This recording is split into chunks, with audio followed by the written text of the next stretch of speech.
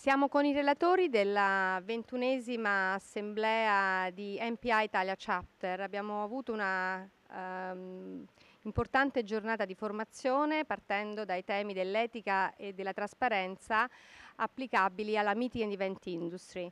E in questa occasione eh, vorrei chiedere eh, ai nostri relatori, eh, presentandoveli eh, uno per uno, eh, che, quali, quali, sono le impressioni che hanno avuto eh, come osservatori esterni. Iniziamo con Günther Reifer, fondatore di Terra Institute di Bressanone. Günther, eh, la domanda, che poi sarà uguale per eh, anche eh, gli altri colleghi, è questa.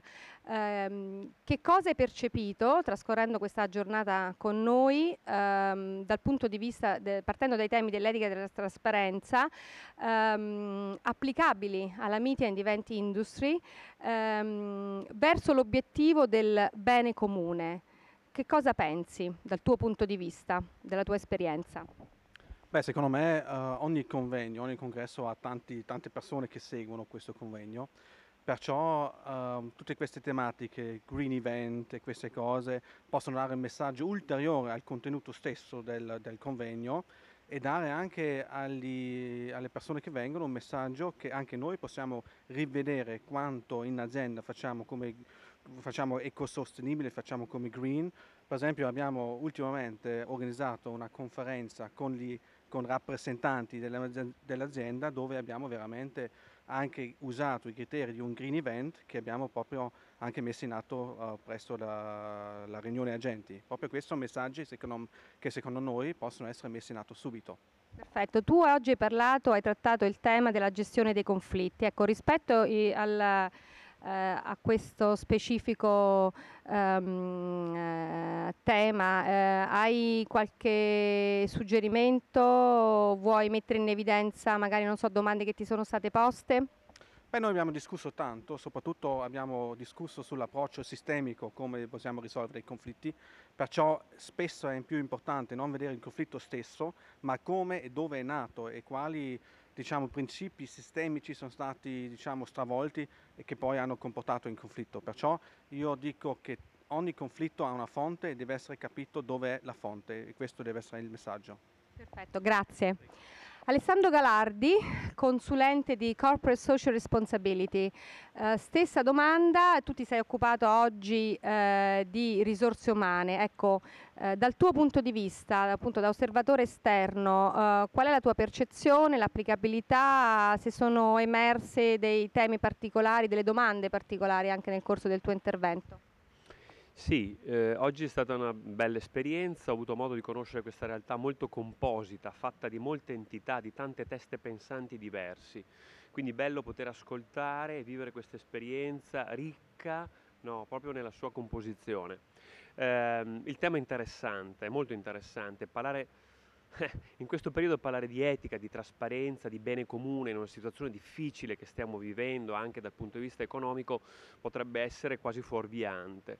Credo invece che sia un tema molto all'ordine del giorno, soprattutto, eh, anzi credo che chi organizza eventi, una struttura come la vostra, un'organizzazione come la vostra, eh, abbia veramente l'interesse, oserei dire quasi il dovere di portare avanti questi argomenti per farli diventare patrimonio di tutti, patrimonio comune, proprio perché eh, l'osservatorio, il punto di vista di chi organizza eventi può avere un effetto propagatore verso tutta la realtà economica verso la quale si rivolge.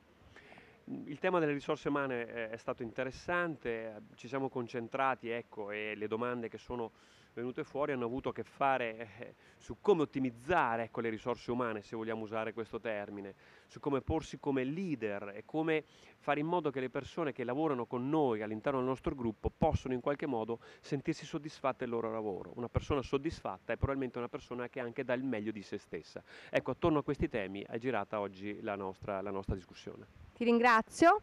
Ed ora, last but not least, Giorgio Di Tullio antropologo lo voglio dire e progettista d'impresa. Tu hai trattato eh, il tema della negoziazione, ecco, rispetto anche a quello che hanno detto i colleghi, qual è la tua impressione, che cosa è emerso in questa giornata?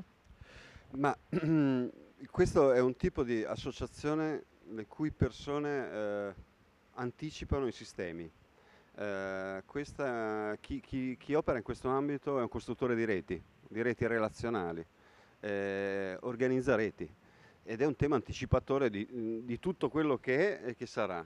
Eh, nell'ambito delle reti ci sono dei meccanismi, reti relazionali intendo primariamente, non per forza reti internet, eh, ci sono delle, delle modalità eh, che vanno rese trasparenti eh, e a partire dalla trasparenza applicata a un prodotto o un servizio, eh, applicare trasparenza significa rendere chiaro tutto il processo e fare un percorso di progettazione collaborativa tra persone. A questo punto non c'è negoziazione, non c'è bisogno di una negoziazione perché gli oggetti si creano insieme e quindi collaboratività, reti, eh, comunità sono i, i, termini tipici di questo mestiere ma che oggi trovano un rinnovamento molto forte e in qualche modo parlano già di futuro. Il problema è solo mentalizzarsi rispetto a questo e imparare che non abbiamo più da costruire eh, degli oggetti da offrire ma abbiamo da costruire dei processi e dobbiamo farlo collaborativamente farlo collaborativamente è evidente che ognuna delle parti è cosciente di quello che si sta